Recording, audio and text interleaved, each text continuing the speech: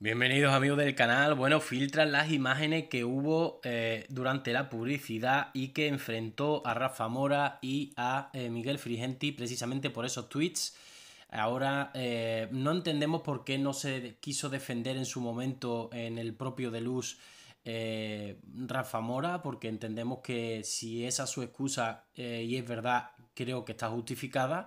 Lo que no entiendo es por qué lo hizo detrás de las cámaras. Pero bueno, yo creo que él eh, quiso dejarlo ahí en plan, eh, te voy a denunciar, tú di lo que quieras, pero te voy a denunciar.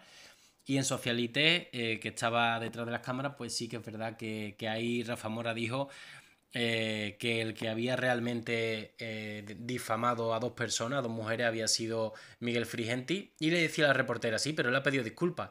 Y le decía a Rafa Mora, ya, pero yo no tengo por qué pedir disculpas porque la cuenta en la cual él está hablando de esos comentarios, yo eh, en aquel momento me hackearon la cuenta. Claro, lo que no se sostiene es lo que le dice Miguel Frigenti, ¿no? Detrás de las cámaras. Y es, vale, ¿y por qué no borras esos comentarios? Es que están en tu cuenta oficial a día de hoy. Es que no son capturas, es que están, según él comenta, están a día de hoy esos comentarios ahora mismo.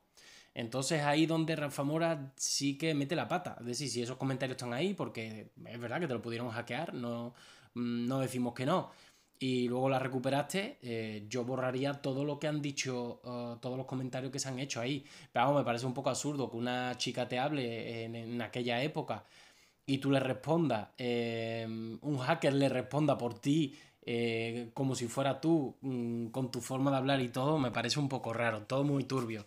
Yo no me creo a Rafa Mora, sinceramente.